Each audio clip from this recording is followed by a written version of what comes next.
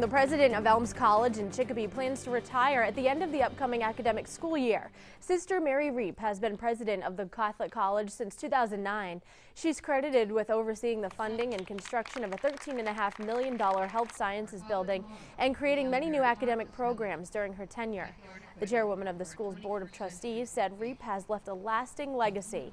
The school will conduct a national search now for a successor.